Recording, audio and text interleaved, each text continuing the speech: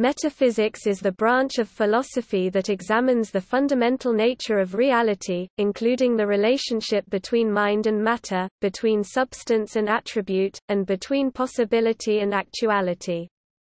The word, metaphysics, comes from two Greek words that, together, literally mean, after or behind or among the study of the natural.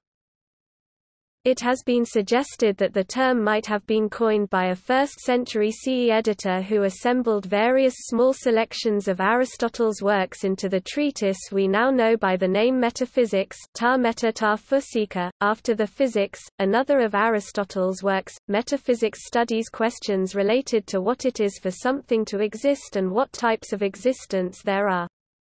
Metaphysics seeks to answer, in an abstract and fully general manner, the questions what is there? What is it like? Topics of metaphysical investigation include existence, objects and their properties, space and time, cause and effect, and possibility.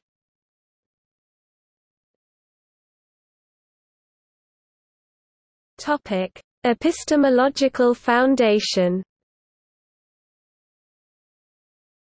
Metaphysics study which is conducted using deduction from that which is known a priori.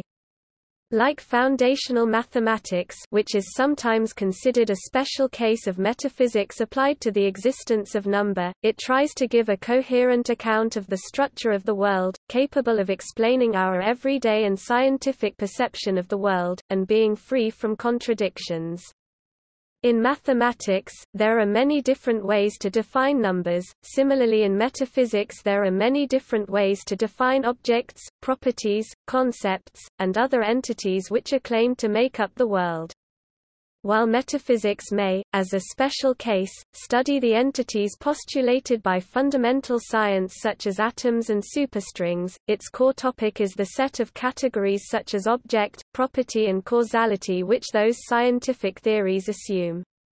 For example, claiming that electrons have charge is a scientific theory, while exploring what it means for electrons to be or at least, to be perceived as objects charge to be a property, and for both to exist in a topological entity called space, is the task of metaphysics.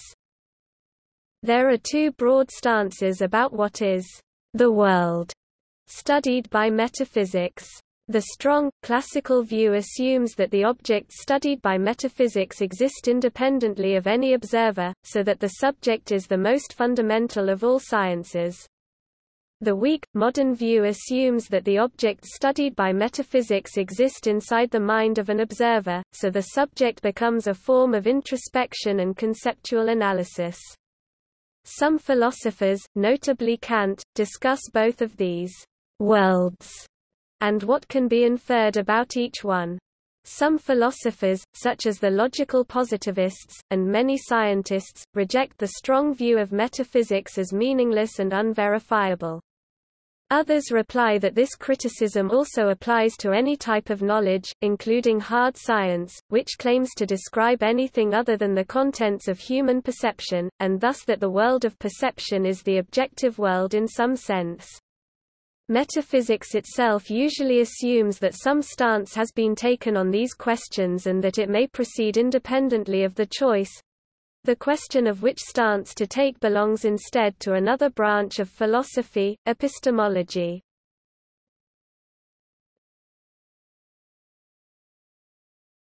Topic: Central questions.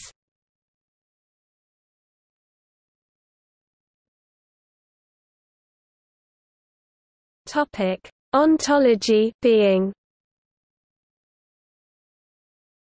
Ontology is the philosophical study of the nature of being, becoming, existence or reality, as well as the basic categories of being and their relations. Traditionally listed as the core of metaphysics, ontology often deals with questions concerning what entities exist or may be said to exist and how such entities may be grouped, related within a hierarchy, and subdivided according to similarities and differences.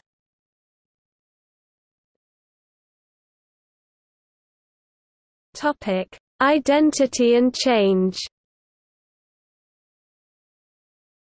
Identity is a fundamental metaphysical issue. Metaphysicians investigating identity are tasked with the question of what, exactly, it means for something to be identical to itself, or, more controversially, to something else. Issues of identity arise in the context of time, what does it mean for something to be itself across two moments in time? How do we account for this? Another question of identity arises when we ask what our criteria ought to be for determining identity. And how does the reality of identity interface with linguistic expressions? The metaphysical positions one takes on identity have far-reaching implications on issues such as the mind-body problem, personal identity, ethics, and law. The ancient Greeks took extreme positions on the nature of change. Parmenides denied change altogether, while Heraclitus argued that change was ubiquitous. Why o cannot step into the same river twice. Identity, sometimes called numerical identity, is the relation that a thing bears to itself, and which no thing bears to anything other than itself cf. sameness. A modern philosopher who made a lasting impact on the philosophy of identity was Leibniz, whose law of the indiscernibility of identicals is still in wide use today. It states that if some object X is identical to some object Y, then any property that X has, Y will have as well. Put formally, it states X Y X equals y p p x left right arrow p y display style forall x forall y x equals y right arrow forall p p x left right arrow p y however it seems too that objects can change over time if one were to look at a tree one day, and the tree later lost a leaf, it would seem that one could still be looking at that same tree.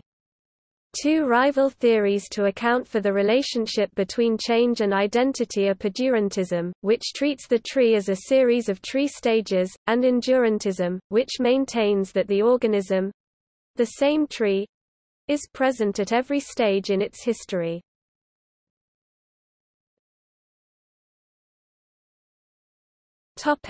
Space and time. Objects appear to us in space and time, while abstract entities such as classes, properties, and relations do not. What then is meant by space and time such that it can serve this function as a ground for objects? Are space and time entities themselves, of some form, or must they exist prior to other entities? How exactly can they be defined? For example, if time is defined as a rate of change, then must there always be something changing in order for time to exist? Topic: Causality. Classical philosophy recognized a number of causes, including teleological future causes.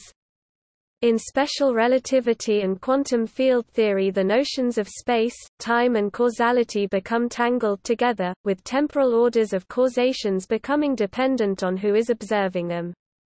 The laws of physics are symmetrical in time, so could equally well be used to describe time as running backwards. Why then do we perceive it as flowing in one direction, the arrow of time, and as containing causation flowing in the same direction? Causality is linked by most philosophers to the concept of counterfactuals. To say that A caused B means that if A had not happened then B would not have happened. Causality is usually required as a foundation for philosophy of science, if science aims to understand causes and effects and make predictions about them.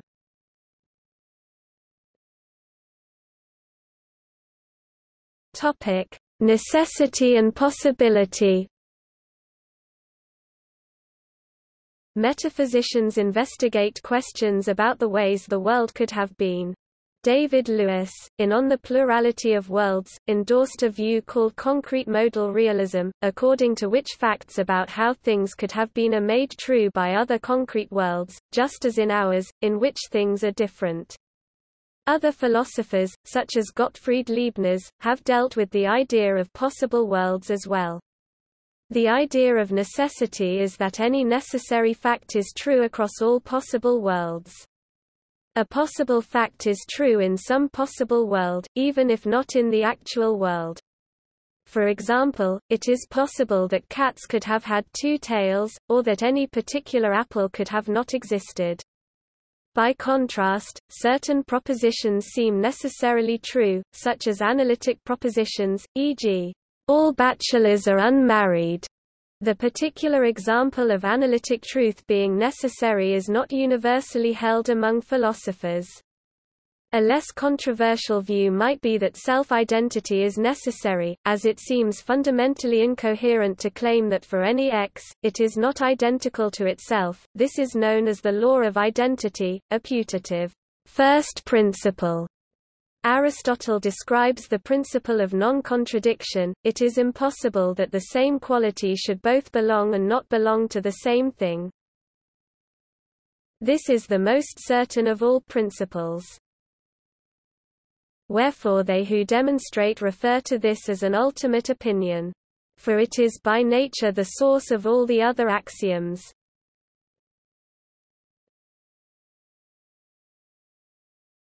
Topic: Peripheral questions What is «central» and «peripheral» to metaphysics has varied over time and schools, however contemporary analytic philosophy as taught in USA and UK universities generally regards the above as «central» and the following as «applications» or «peripheral» topics, or in some cases as distinct subjects which have grown out of and depend upon metaphysics. Topic: Cosmology and cosmogony. Metaphysical cosmology is the branch of metaphysics that deals with the world as the totality of all phenomena in space and time.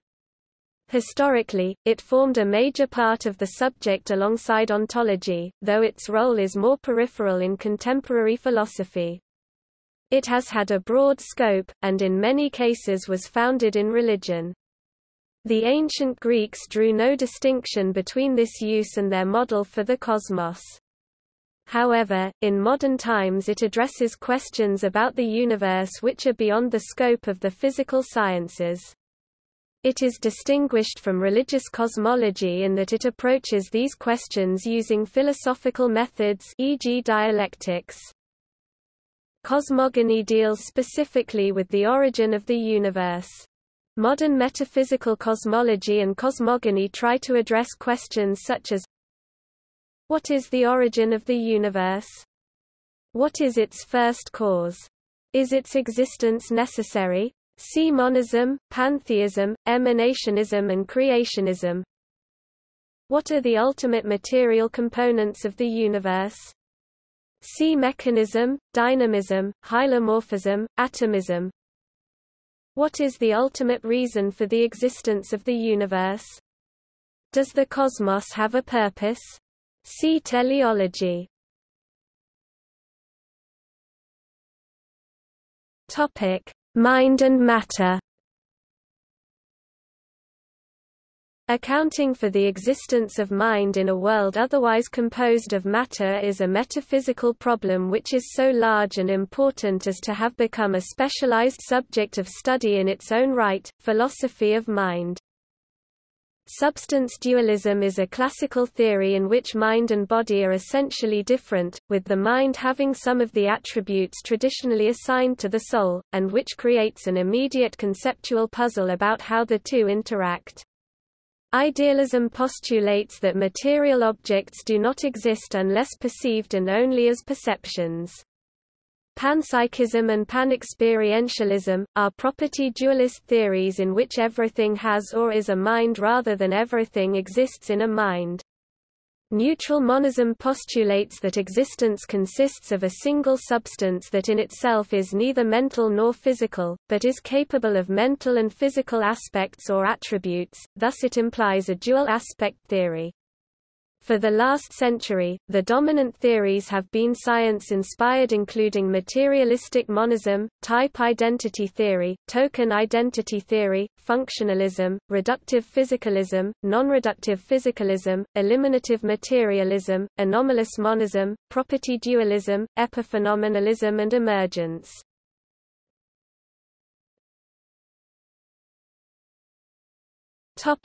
Determinism and free will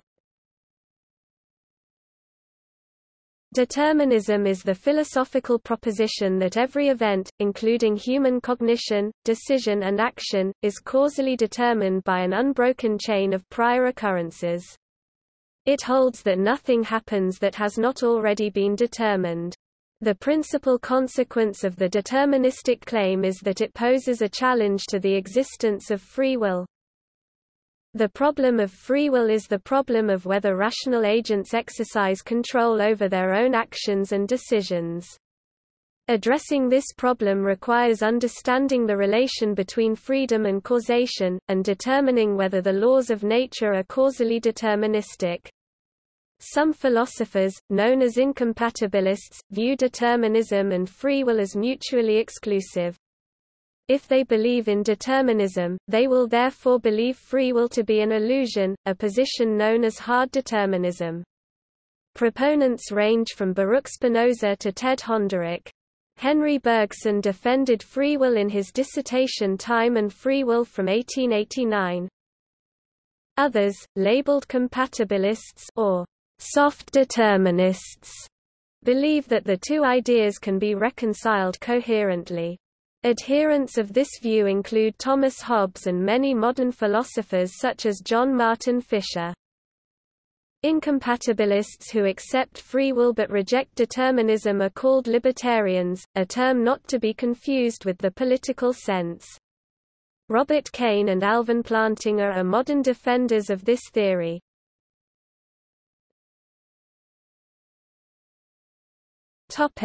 Natural and social kinds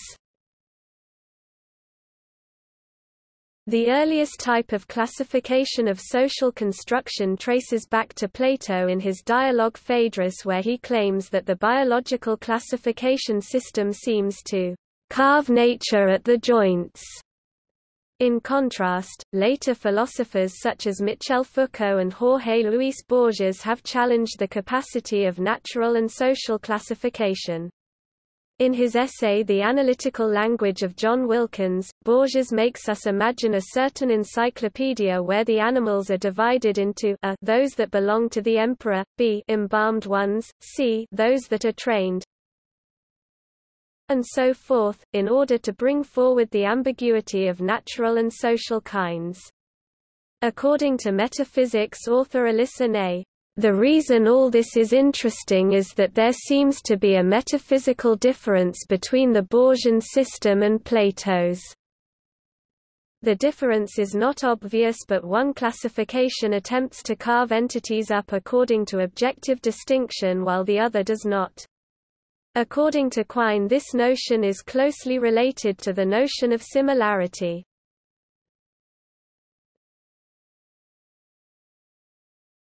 Topic: Number. There are different ways to set up the notion of number in metaphysics theories. Platonist theories postulate number as a fundamental category itself. Others consider it to be a property of an entity called a group, comprising other entities, or to be a relation held between several groups of entities, such as the number 4 is the set of all sets of four things. Many of the debates around universals are applied to the study of number, and are of particular importance due to its status as a foundation for the philosophy of mathematics and for mathematics itself.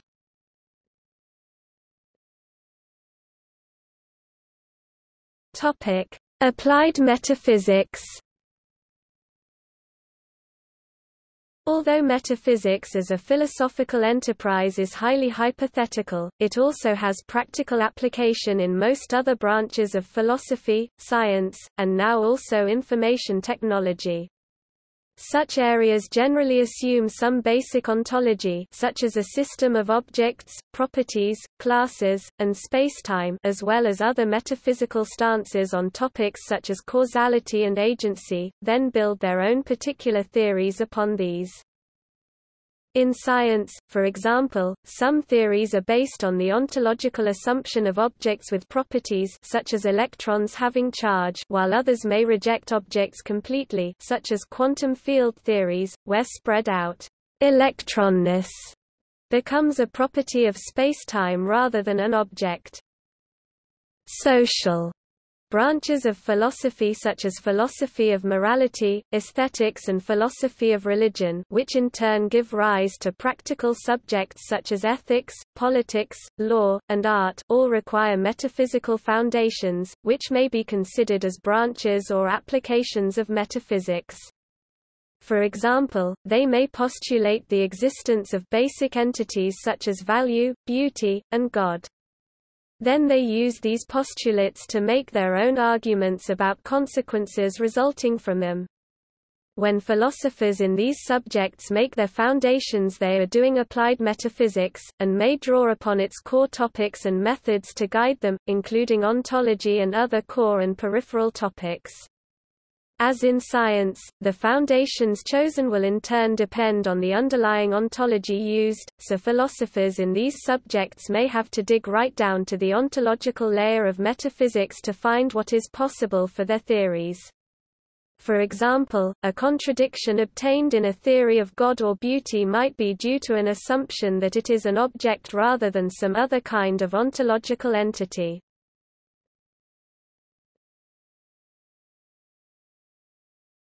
Topic: Relationship of metaphysics and science.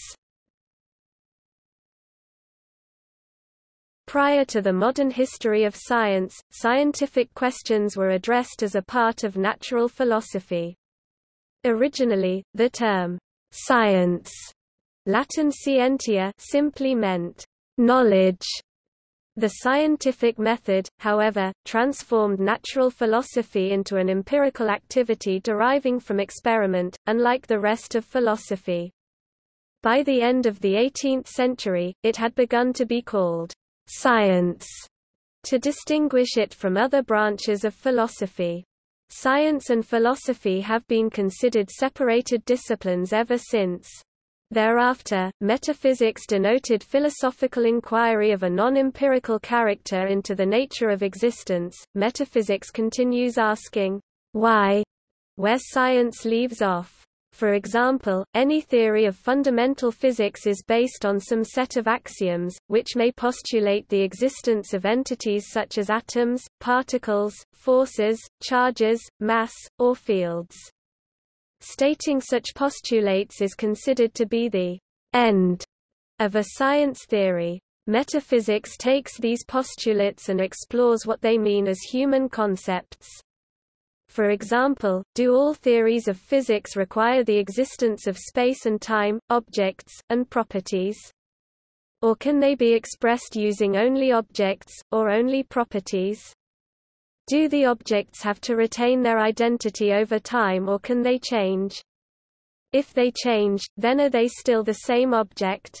Can theories be reformulated by converting properties or predicates such as red into entities such as redness or redness fields or processes there is some redding happening over there appears in some human languages in place of the use of properties.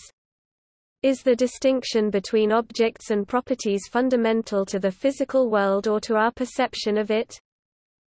Much recent work has been devoted to analyzing the role of metaphysics in scientific theorizing.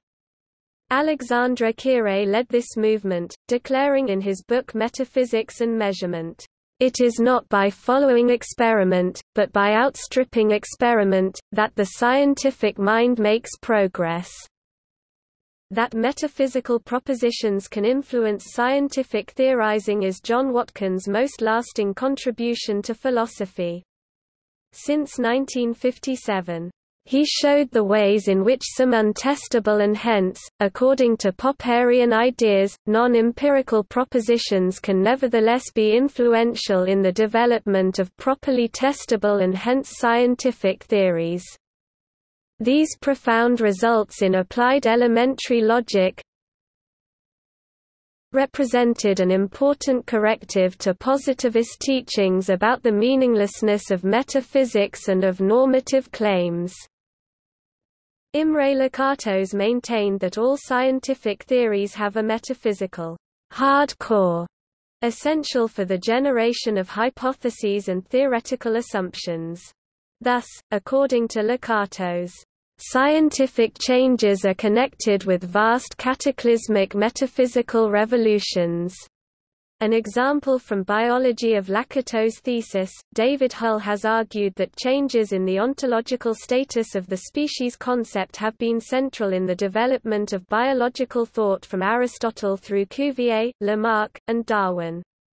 Darwin's ignorance of metaphysics made it more difficult for him to respond to his critics because he could not readily grasp the ways in which their underlying metaphysical views differed from his own. In physics, new metaphysical ideas have arisen in connection with quantum mechanics, where subatomic particles arguably do not have the same sort of individuality as the particulars with which philosophy has traditionally been concerned.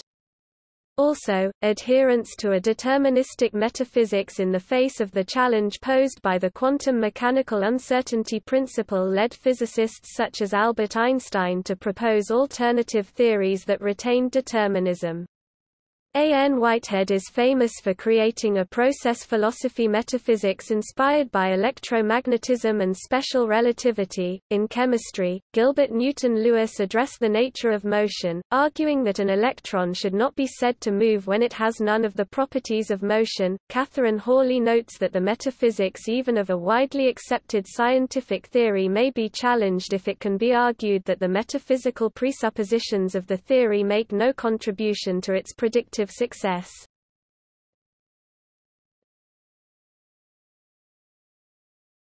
Topic: Rejections of metaphysics.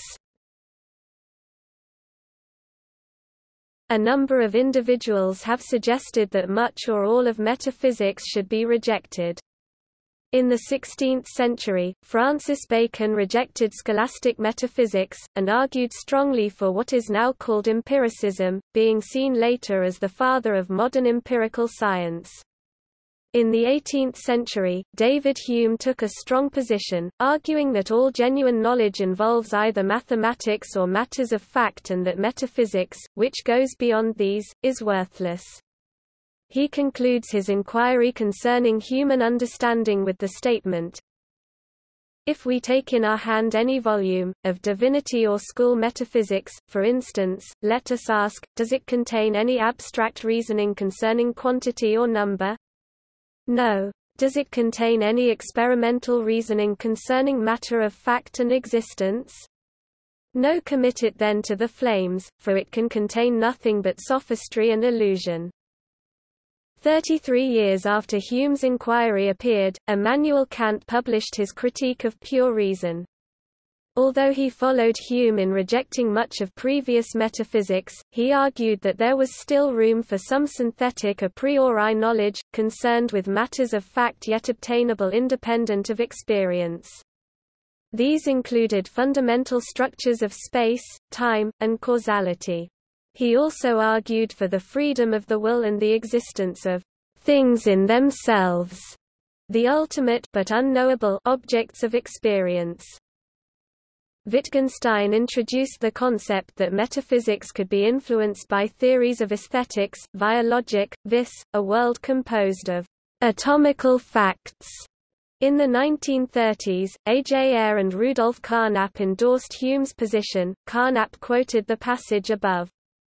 They argued that metaphysical statements are neither true nor false but meaningless since, according to their verifiability theory of meaning, a statement is meaningful only if there can be empirical evidence for or against it.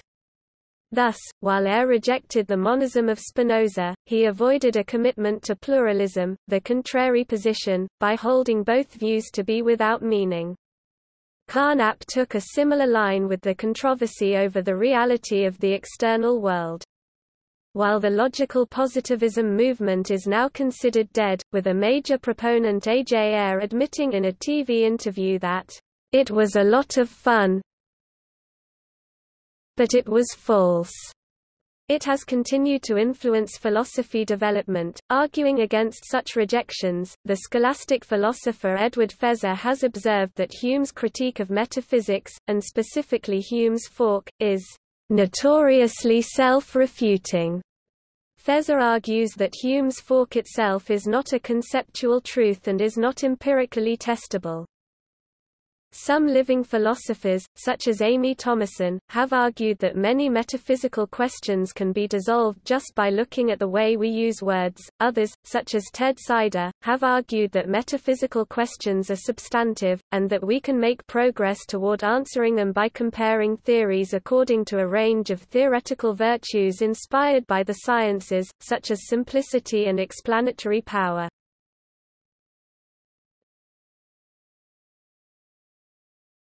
Topic: Etymology. The word metaphysics derives from the Greek words meta, meta, after, and physika, physica, physics.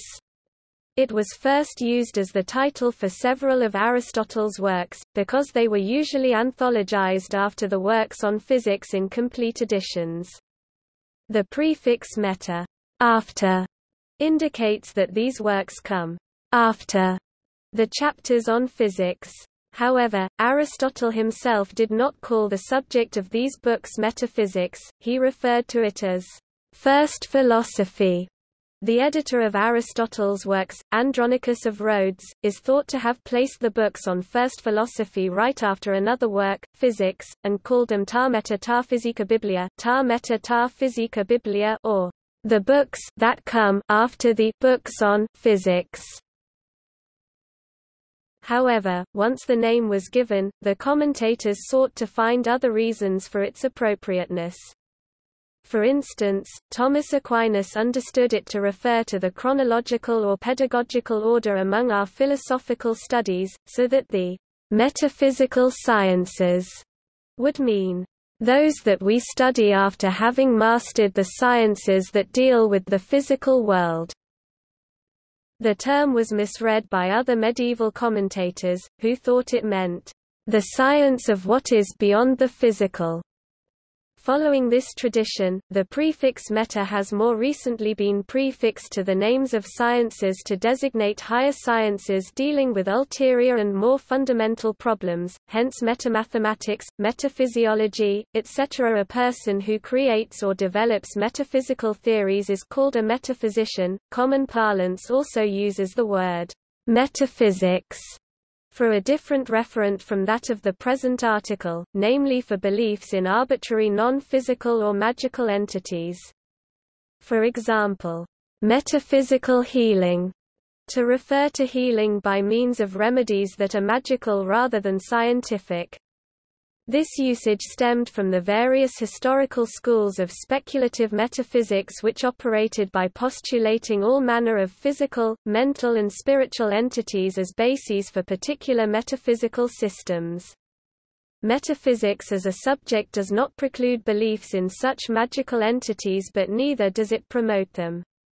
Rather, it is the subject which provides the vocabulary and logic with which such beliefs might be analyzed and studied, for example to search for inconsistencies both within themselves and with other accepted systems such as science.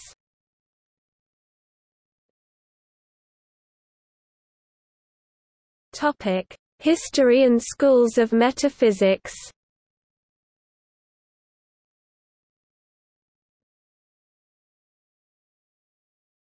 Topic: Prehistory. Cognitive archaeology such as analysis of cave paintings and other prehistoric art and customs suggests that a form of perennial philosophy or shamanism metaphysics may stretch back to the birth of behavioral modernity, all around the world. Similar beliefs are found in present-day Stone Age cultures such as Australian Aboriginals. Perennial philosophy postulates the existence of a spirit or concept world alongside the day-to-day -day world, and interactions between these worlds during dreaming and ritual, or on special days or at special places. It has been argued that perennial philosophy formed the basis for Platonism, with Plato articulating, rather than creating, much older widespread beliefs.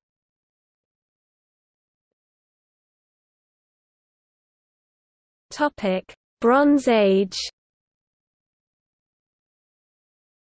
Bronze Age cultures such as ancient Mesopotamia and ancient Egypt along with similarly structured but chronologically later cultures such as Mayans and Aztecs developed belief systems based on mythology, anthropomorphic gods, mind-body dualism, and a spirit world, to explain causes and cosmology. These cultures appear to have been interested in astronomy and may have associated or identified the stars with some of these entities. In ancient Egypt, the ontological distinction between order and chaos seems to have been important.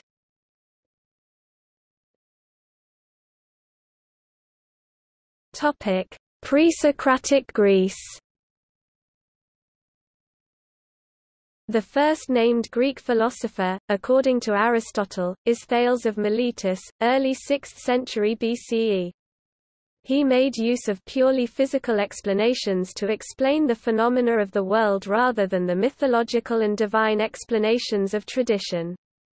He is thought to have posited water as the single underlying principle or arche in later Aristotelian terminology of the material world. His fellow, but younger Miletians, Anaximander and Anaximenes, also posited monistic underlying principles, namely apeiron the indefinite or boundless and air respectively. Another school was the Eleatics, in southern Italy. The group was founded in the early 5th century BCE by Parmenides, and included Zeno of Elea and Melissus of Samos. Methodologically, the Eleatics were broadly rationalist, and took logical standards of clarity and necessity to be the criteria of truth. Parmenides' chief doctrine was that reality is a single unchanging and universal being. Zeno used reductio ad absurdum, to demonstrate the illusory nature of change and time in his paradoxes. Heraclitus of Ephesus, in contrast, made change central, teaching that all things flow. His philosophy, expressed in brief aphorisms, is quite cryptic. For instance, he also taught the unity of opposites.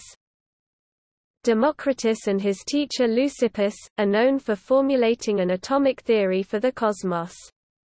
They are considered forerunners of the scientific method.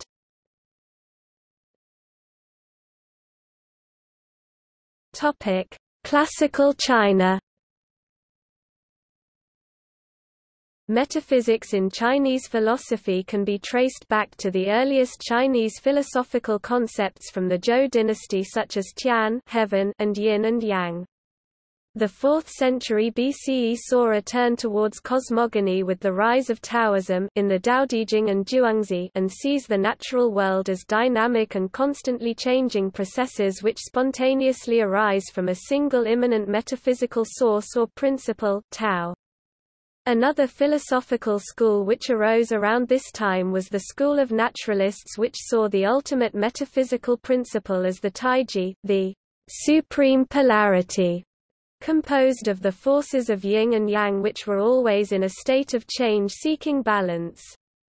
Another concern of Chinese metaphysics, especially Taoism, is the relationship and nature of being and non-being, yu and wu-wu. The Taoists held that the ultimate, the Tao, was also non-being or no presence. Other important concepts were those of spontaneous generation or natural vitality and correlative resonance. Ganying. After the fall of the Han dynasty 220 CE, China saw the rise of the Neo-Taoist Xuanxue school. This school was very influential in developing the concepts of later Chinese metaphysics. Buddhist philosophy entered China c. 1st century and was influenced by the native Chinese metaphysical concepts to develop new theories. The native Tiantai and Huayan schools of philosophy maintained and reinterpreted the Indian theories of shunyata emptiness, kongkong and Buddha nature into the theory of interpenetration of phenomena. Neo-Confucians like Zhang Zai under the influence of other schools developed the concepts of principle li and vital energy qi.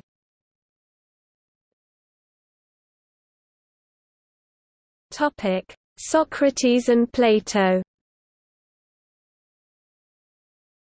Socrates is known for his dialectic or questioning approach to philosophy rather than a positive metaphysical doctrine. His pupil, Plato is famous for his theory of forms which he places in the mouth of Socrates in his dialogues. Platonic realism, also considered a form of idealism, is considered to be a solution to the problem of universals, i.e., what particular objects have in common is that they share a specific form which is universal to all others of their respective kind. The theory has a number of other aspects. Epistemological, knowledge of the forms is more certain than mere sensory data. Ethical, the form of the good sets an objective standard for morality. Time and change, the world of the forms is eternal and unchanging. Time and change belong only to the lower sensory world. Time is a moving image of eternity. Abstract objects and mathematics, numbers, geometrical figures, etc., exist mind independently in the world of forms. Platonism developed into Neoplatonism, a philosophy with a monotheistic and mystical flavor that survived well into the early Christian era.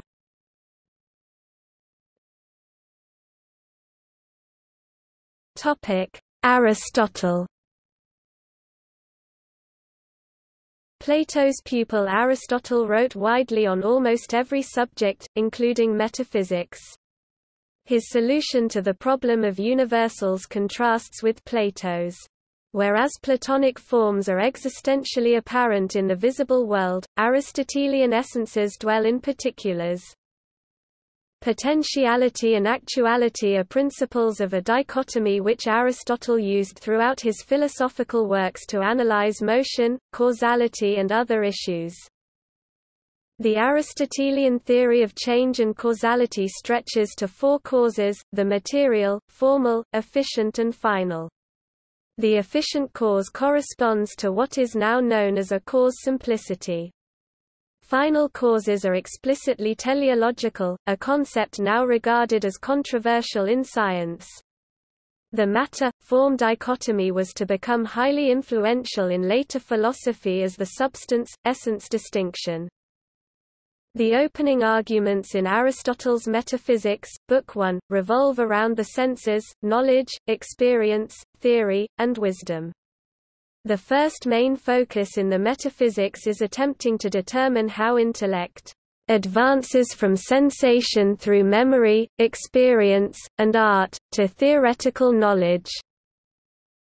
Aristotle claims that eyesight provides us with the capability to recognize and remember experiences, while sound allows us to learn.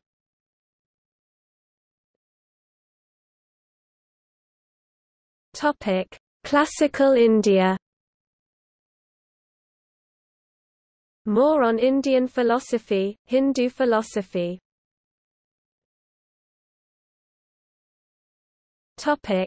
Samkhya. Samkhya is an ancient system of Indian philosophy based on a dualism involving the ultimate principles of consciousness and matter.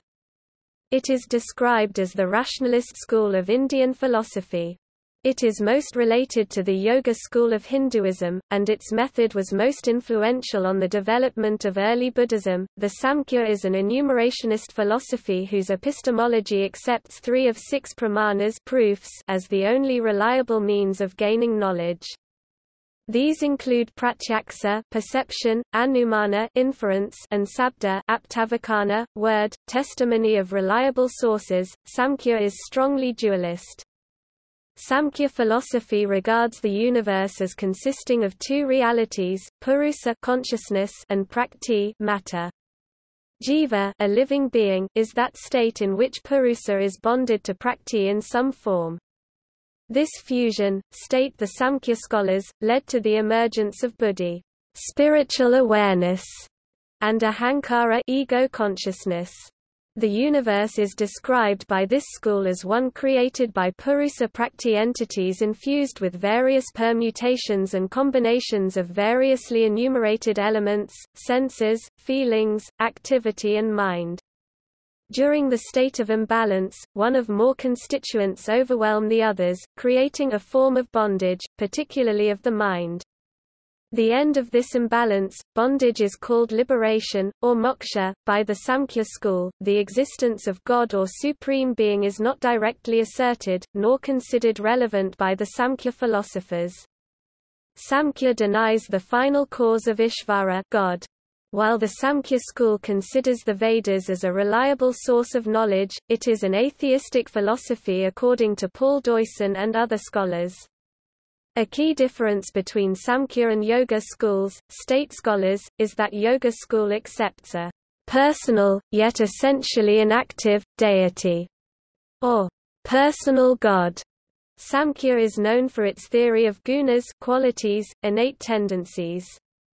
Guna, it states, are of three types, sattva being good, compassionate, illuminating, positive, and constructive, rajas is one of activity, chaotic, passion, impulsive, potentially good or bad, and tamas being the quality of darkness, ignorance, destructive, lethargic, negative.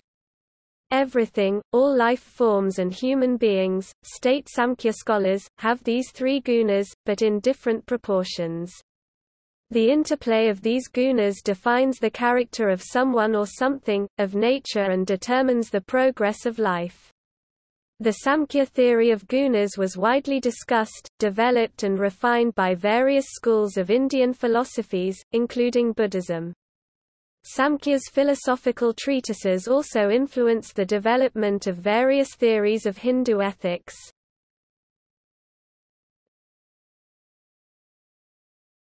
Topic: Vedanta. Realization of the nature of self-identity is the principal object of the Vedanta system of Indian metaphysics. In the Upanishads, self-consciousness is not the first-person indexical self-awareness or the self-awareness which is self-reference without identification, and also not the self-consciousness which as a kind of desire is satisfied by another self-consciousness. It is self-realization, the realization of the self consisting of consciousness that leads all else. The word self-consciousness in the Upanishads means the knowledge about the existence and nature of Brahman.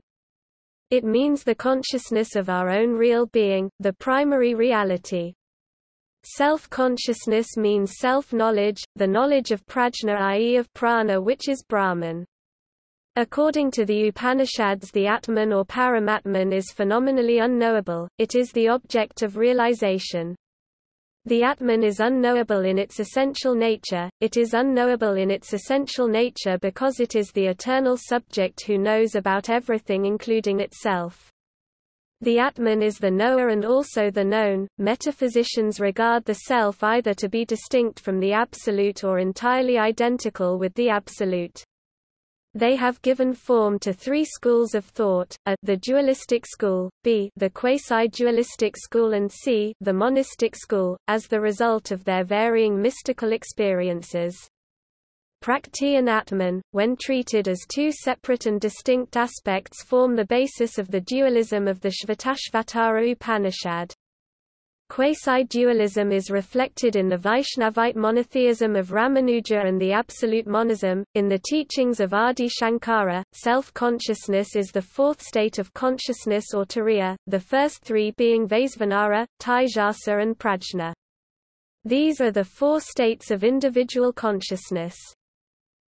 There are three distinct stages leading to self-realization. The first stage is in mystically apprehending the glory of the self within us as though we were distinct from it. The second stage is in identifying the I within with the self, that we are in essential nature entirely identical with the pure self. The third stage is in realizing that the Atman is Brahman, that there is no difference between the self and the Absolute.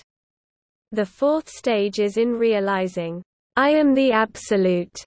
Aham Brahman Asmi. The fifth stage is in realizing that Brahman is the all that exists, as also that which does not exist.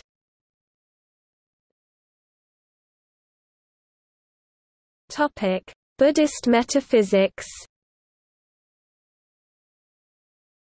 In Buddhist philosophy there are various metaphysical traditions that have proposed different questions about the nature of reality based on the teachings of the Buddha in the early Buddhist texts.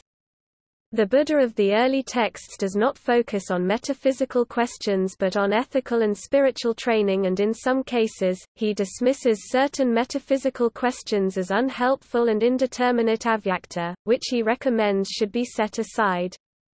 The development of systematic metaphysics arose after the Buddha's death with the rise of the Abhidharma traditions. The Buddhist Abhidharma schools developed their analysis of reality based on the concept of dharmas which are the ultimate physical and mental events that make up experience and their relations to each other. Noa Ronkin has called their approach, phenomenological, Later philosophical traditions include the Madhyamika school of Nagarjuna, which further developed the theory of the emptiness of all phenomena or dharmas which rejects any kind of substance. This has been interpreted as a form of anti-foundationalism and anti-realism which sees reality as having no ultimate essence or ground. The Yogacara school meanwhile promoted a theory called awareness only, Vijnapti Matra which has been interpreted as a form of idealism or phenomenology and denies the split between awareness itself and the objects of awareness.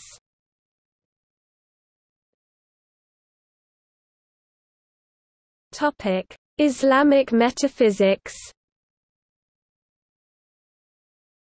Islamic metaphysics was highly active during Europe's Dark Ages, beginning with the arrival and translation of Aristotle into Arabic.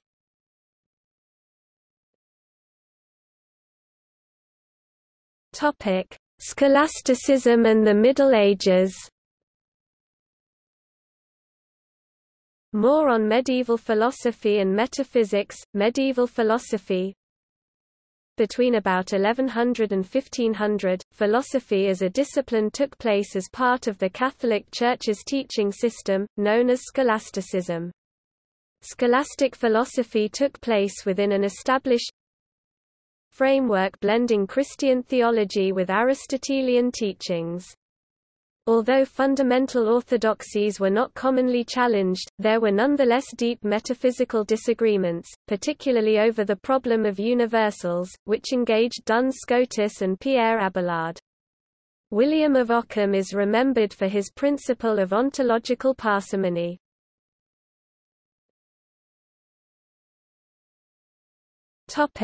Rationalism and continental rationalism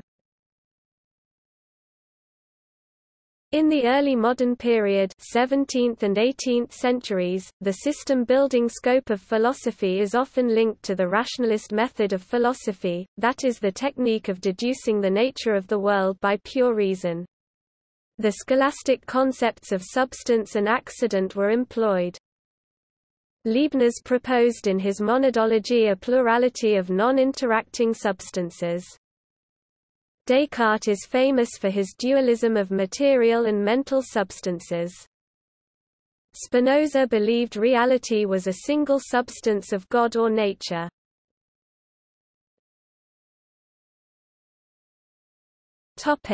British empiricism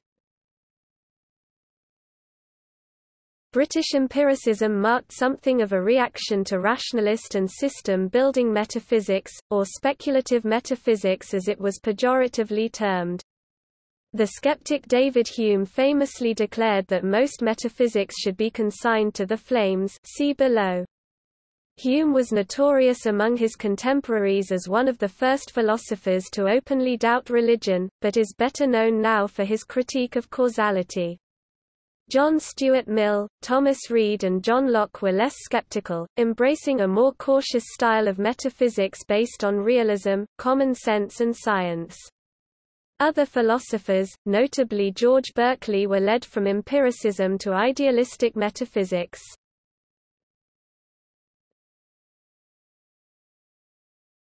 Topic: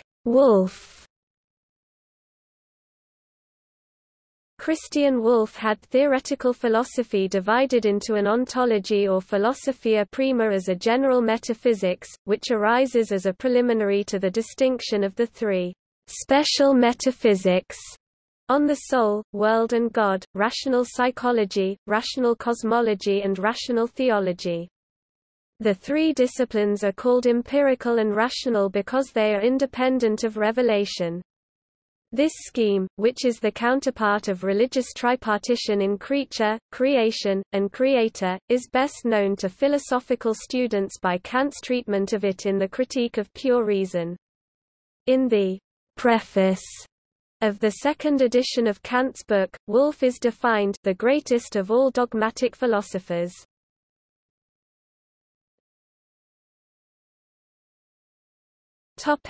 Kant.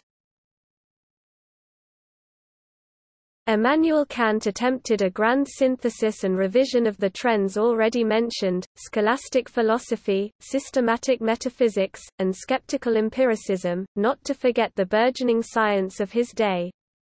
As did the systems builders, he had an overarching framework in which all questions were to be addressed. Like Hume, who famously woke him from his dogmatic slumbers, he was suspicious of metaphysical speculation, and also places much emphasis on the limitations of the human mind. Kant described his shift in metaphysics away from making claims about an objective noumenal world, towards exploring the subjective phenomenal world, as a Copernican revolution, by analogy to though opposite in direction to Copernicus' shift from man the subject to the sun an object at the center of the universe. Kant saw rationalist philosophers as aiming for a kind of metaphysical knowledge he defined as the synthetic a priori, that is knowledge that does not come from the senses it is a priori but is nonetheless about reality synthetic.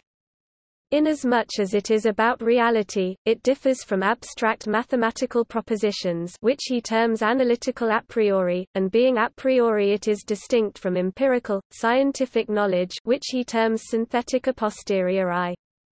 The only synthetic a priori knowledge we can have is of how our minds organize the data of the senses, that organizing framework is space and time, which for Kant have no mind-independent existence, but nonetheless operate uniformly in all humans. A priori knowledge of space and time is all that remains of metaphysics as traditionally conceived, there is a reality beyond sensory data or phenomena, which he calls the realm of noumena, however, we cannot know it as it is in itself, but only as it appears to us. He allows himself to speculate that the origins of phenomenal God, morality, and free will might exist in the noumenal realm, but these possibilities have to be set against its basic unknowability for humans. Although he saw himself as having disposed of metaphysics, in a sense, he has generally been regarded in retrospect as having a metaphysics of his own, and as beginning the modern analytical conception of the subject.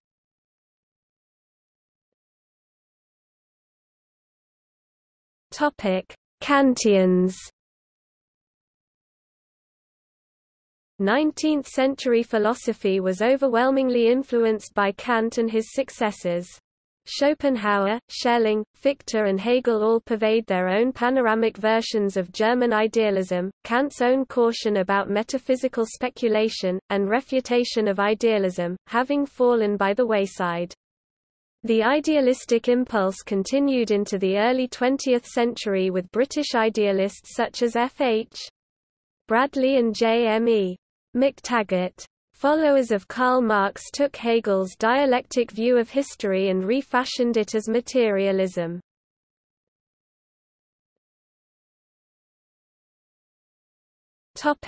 Early analytical philosophy and positivism During the period when idealism was dominant in philosophy, science had been making great advances.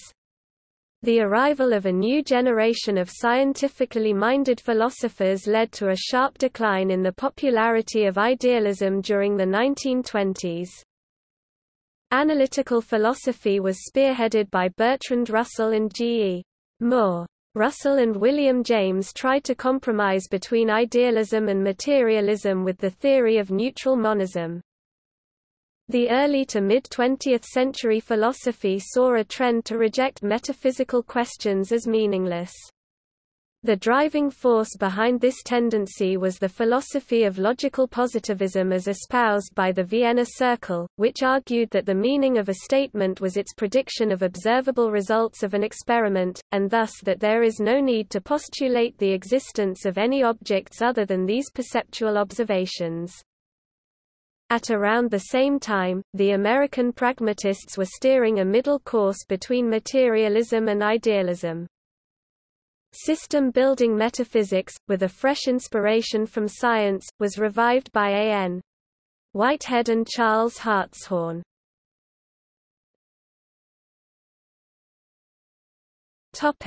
Continental philosophy The forces that shaped analytical philosophy—the break with idealism, and the influence of science—were much less significant outside the English-speaking world, although there was a shared turn toward language. Continental philosophy continued in a trajectory from post-Kantianism. The phenomenology of Husserl and others was intended as a collaborative project for the investigation of the features and structure of consciousness common to all humans, in line with Kant's basing his synthetic a priori on the uniform operation of consciousness. It was officially neutral with regards to ontology, but was nonetheless to spawn a number of metaphysical systems. Brentano's concept of intentionality would become widely influential, including on analytical philosophy. Heidegger, author of Being and Time, saw himself as refocusing on being qua being, introducing the novel concept of Dasein in the process. Classing himself an existentialist, Sartre wrote an extensive study of being and nothingness. The speculative realism movement marks a return to full-blooded realism.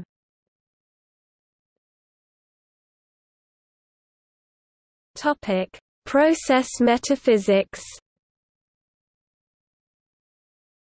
There are two fundamental aspects of everyday experience, change and persistence. Until recently, the Western philosophical tradition has arguably championed substance and persistence, with some notable exceptions, however. According to process thinkers, novelty, flux and accident do matter, and sometimes they constitute the ultimate reality.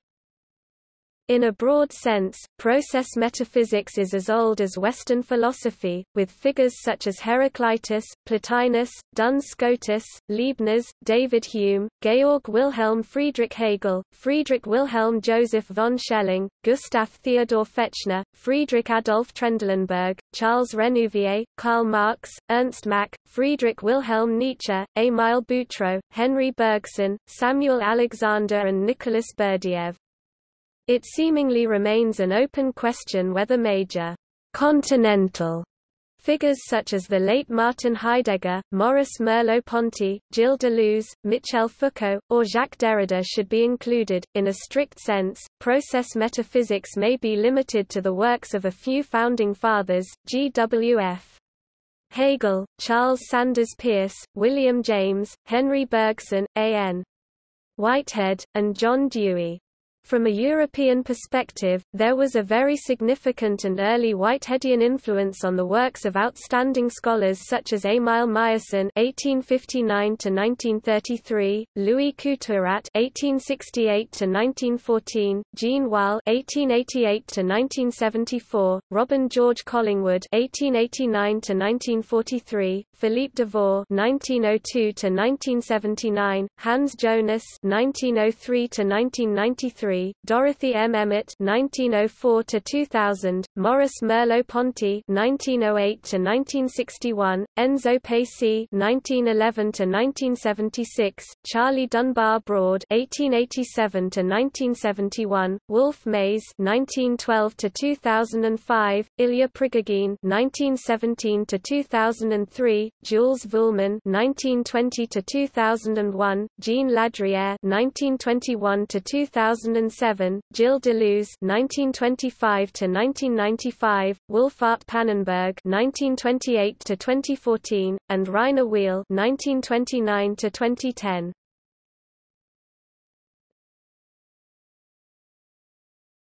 Topic: Contemporary analytical philosophy. While early analytic philosophy tended to reject metaphysical theorizing, under the influence of logical positivism, it was revived in the second half of the 20th century.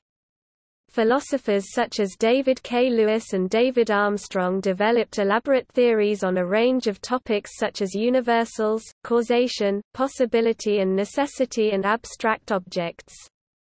However, the focus of analytical philosophy generally is away from the construction of all-encompassing systems and toward close analysis of individual ideas. Among the developments that led to the revival of metaphysical theorizing were Quine's attack on the analytic-synthetic distinction, which was generally taken to undermine Carnap's distinction between existence questions internal to a framework and those external to it, the philosophy of fiction, the problem of empty names, and the debate over existence's status as a property have all come of relative obscurity into the limelight, while perennial issues such as free will, possible worlds, and the philosophy of time have had new life breathed into them. The analytic view is of metaphysics as studying phenomenal human concepts rather than making claims about the noumenal world, so its style often blurs into philosophy of language and introspective psychology. Compared to system building, it can seem very dry, stylistically similar to computer programming, mathematics or even accountancy as a common stated goal is to account for entities in the world.